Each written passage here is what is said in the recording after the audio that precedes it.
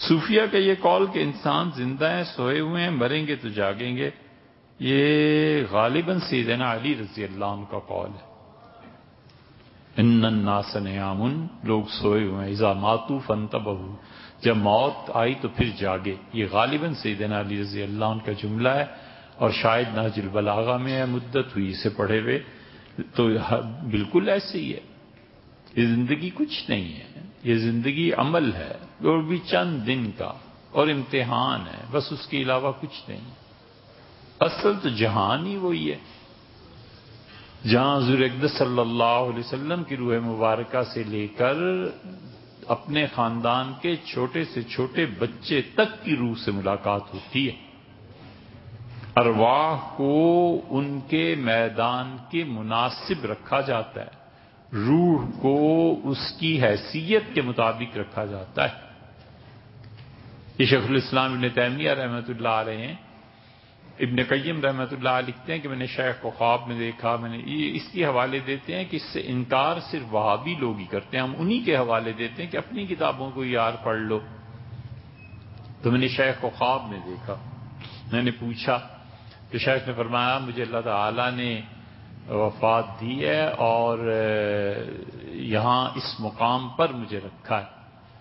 तो मैंने कहा शेख आप खुश नसीब हैं आपको अल्लाह ने इतने कुर्ब का मुकाम दिया। तो मुझसे कहा इतने कईम तो जी, जीते रहोगे और मेरे अब मरने के बाद तुम्हारा जब इंतकाल होगा तो तुम इल्म में अमल में मुझसे ज़्यादा हो जाओगे मुझसे दो दर्जे बड़ा तुम्हारा मुकाम तुम्हें दिया जाएगा।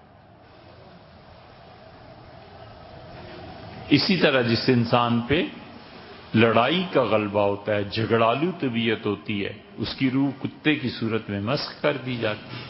जिसमें बेहयाई का गलबा होता है, उसे सुअर की रूह पहना देते हैं। सुअर की रूह, यानी जिस तरह चोला यहाँ लटका हुआ है और उसको पहना देते हैं। इसीलिए तो रूह मस्क हो जाना यह मालूसन्ना का अकीदा है।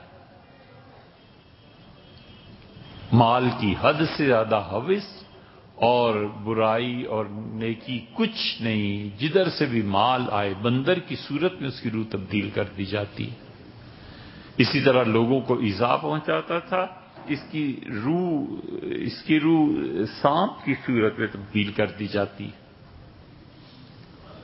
वो शिया उलमा में से बहुत बड़ी हैसियत के मालिक है, मुल्ला सदरा।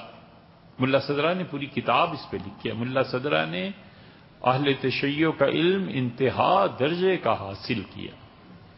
और वह सही फितरत पे आ गए जब इल्म के बाद फिर उन पे इबादत का गलबा हुआ। पंद्रह साल, बीस साल किसी ने देखा ही नहीं। इतने इबादत में गर्क हो गए कि लोग ढूंढते थे कहा। मुल्ला सदरा ने फिर जब किताबें लिखी हैं, इस पे इमाम गजाली ने भी लिखा है। इस पे मुल्ला सदरा ने भी लिखा है। मुल्ला सदरा ने तो बड़ी तफसील से लिखा है कि कौन शख्स किस सेहत में क्यामत में उठाया जाएगा और किस तरह रूहें तब्दील हो जाती